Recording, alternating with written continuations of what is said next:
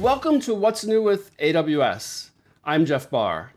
Before we dive into my story and my launches, want to thank you, as I do every week, for all the great feedback and all the likes. Really love it that you watch my videos and you give me your feedback. Keep it coming. All right, so my story. We had Father's Day a week or so ago, and I thought I'd tell you a really awesome story about my father. So he's 84 now, and he's had a really long and really interesting life. He joined the US Air Force immediately after graduating from high school, and it left some incredibly strong impressions on him. It instilled some really strong values on him, and the thing I really loved about his time in the Air Force, it it shaped his life, and for many many years he would refer back to it regularly. A- after joining, he did his training in Texas, and then he got to travel to Japan, and he did very classified intelligence work that still to this day he doesn't actually share. Now, as you grow older, we find that age actually brings some challenges. And for my dad, his physical health is still good, but dementia is this really cruel thing. And it just kind of eats away at your brain, at your memories, bit by bit. And over the last years, it's become a little bit harder to connect with him. A, a year or so ago, he was living in this assisted living facility in Arizona. Perfectly good place, but he was alone. It was kind of difficult for any family to, to visit him, and we didn't really have a, a good handle on his condition or his care. After lots of investigation and working with my sisters, we found a, a better place for him in Pennsylvania. Place looked great, and the thing that I really liked about it is that my sisters and my dad's brother were going to be nearby, so he could get some local local attention from his family from here in Seattle, I was really apprehensive about this move. We're in the midst of a pandemic. We're talking about it for a really, really long time.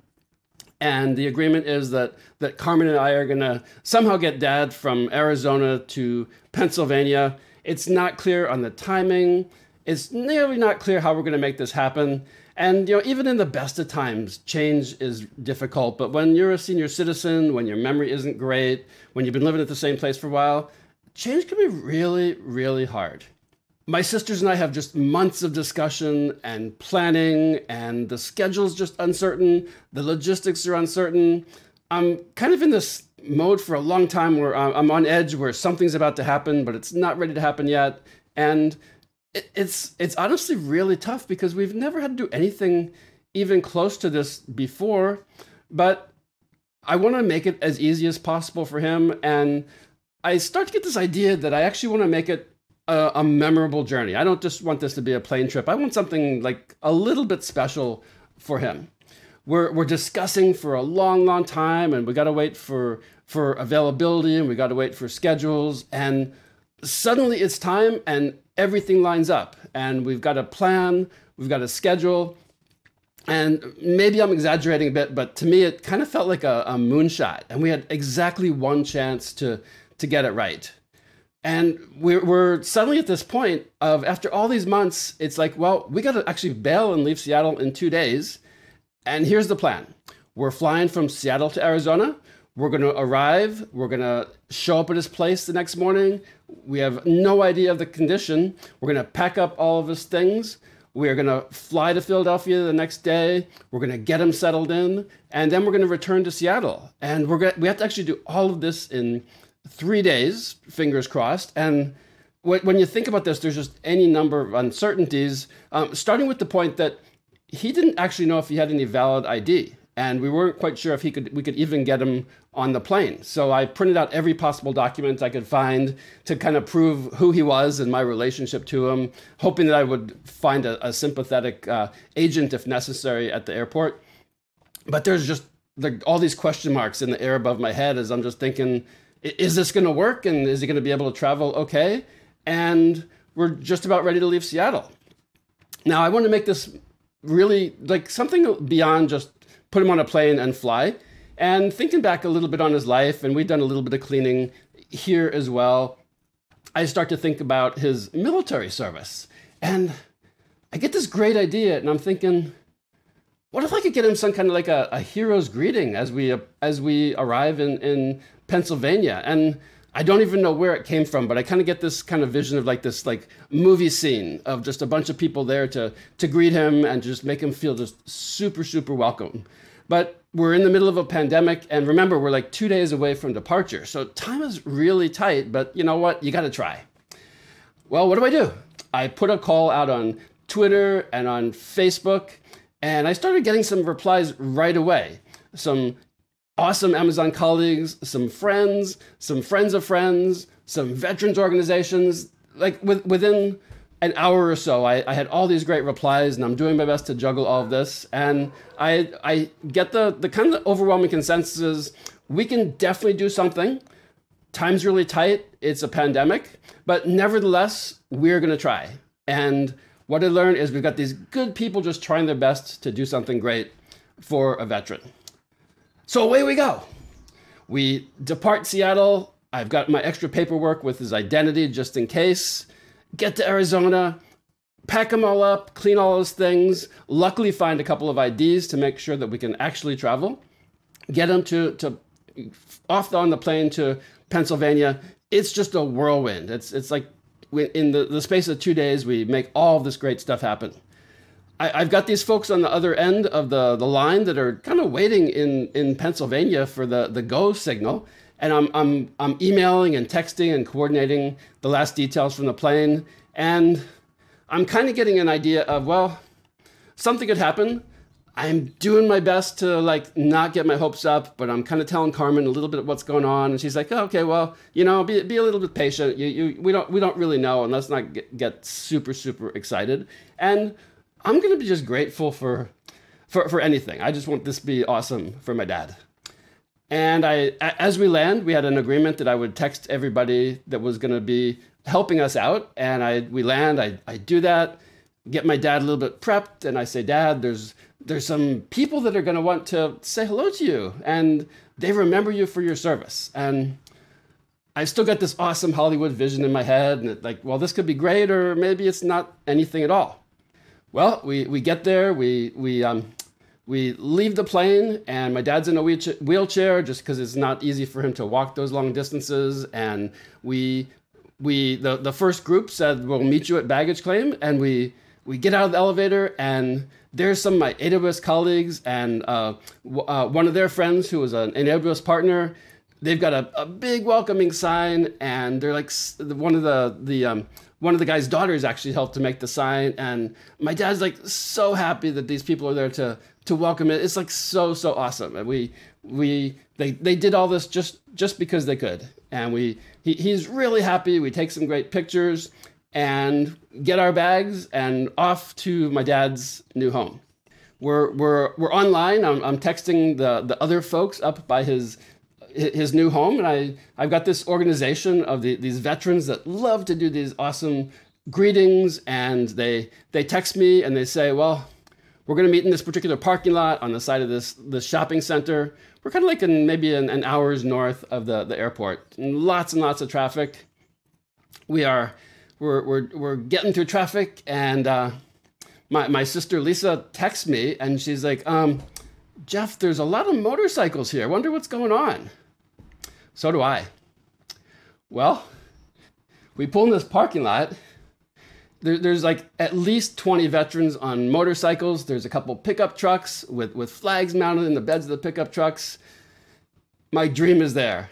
And all these amazing people, they salute my dad, they greet him. It's the actual like picture in my head, somehow extracted out of my head and, and turned into the most awesome reality you can just possibly imagine. They're so, so happy to see him. Everybody's masked, everybody's keeping their distance, but nevertheless, they give him the that warm welcome. It, it's time to proceed. We're we're about five ten miles away from from his his uh, his new home, and they say, Jeff, let's let's do it. Let's make this happen. And we we line up, and they say, we're we're making you a, a convoy. We're gonna do it. And they they they give us they give me the plans, and the, the leaders pull out. They give us the instructions, and they say, you just fo- follow us. We're gonna get you there. Well, this was so awesome. We we get in the car. It's our turn. My dad is just totally, totally, two thousand percent thrilled, and he's he's kind of getting the sense that these are some veterans and that this is special and it's for him. We tell him, "This is all for you, Dad. This is This is for your service. This is what you've earned. We, we get to his location, we arrive, all these amazing people, they're all still masked, they're still being careful, but one by one, they each took the time to, to chat with my dad at, at length, who they were, what they did, exchange a couple of, of stories of their, their service. These big, gruff people riding their incredibly loud, super powerful motorcycles. You, you'd be see these folks and you'd be a little bit scared of them sometimes, honestly.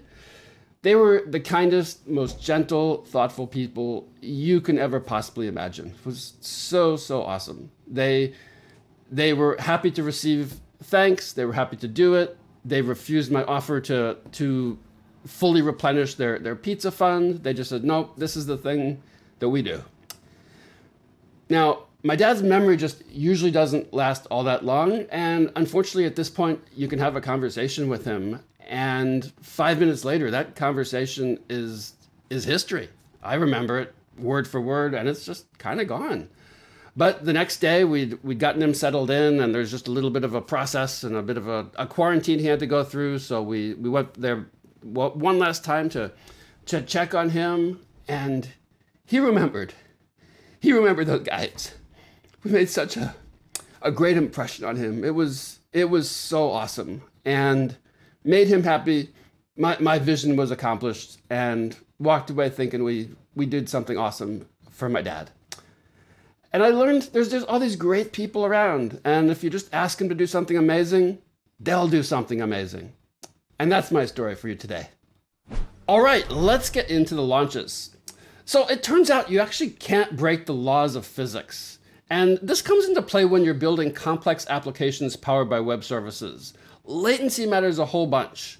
When you multiply your latency out across a whole bunch of requests and round trips and network hops, every tiny bit of latency adds to the overall perceived speed or slowness of your application.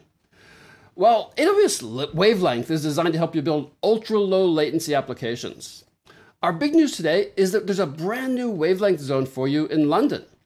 You get AWS compute and storage at the edge of the Vodafone 4G, 5G network. I think you're going to look at this and start to think of tons of really awesome new use cases. Here's a couple to get you started. Think about autonomous vehicles, smart factories, the power to do machine learning inference at the edge. You could do interactive experiences at live sporting events. You could do telepresence. Start getting really creative and tell me what you come up with. This is super, super easy for you to use. You go to the console, you opt in, you create this little object called a carrier gateway that's going to fit in between your VPC and the carrier network. Then you launch two EC2 instances. The first one's going to be in your region, and you use that simply for testing connectivity. The second one is going to be in the wavelength zone for your app, and then all you got to do then is set up a carrier IP address that's going to be the IP that when connected to via the 4G, 5G network, that's going to route to your instance running in the wavelength zone. Super, super easy. There's plenty of docs to help you get started. So with this launch in London, there's now 14 wavelength zones. They're in the US, the UK, South Korea, and Japan. If you want to learn a lot more about this, you know what to do. Read that what's new. Next up, an awesome new feature for Amazon Aurora called database cloning. So you probably know Aurora already. It's a really awesome database. It's both MySQL and PostgreSQL compatible. There's a variant called Amazon Aurora Serverless that makes it on demand and auto scaling. So this cool new feature is called database cloning.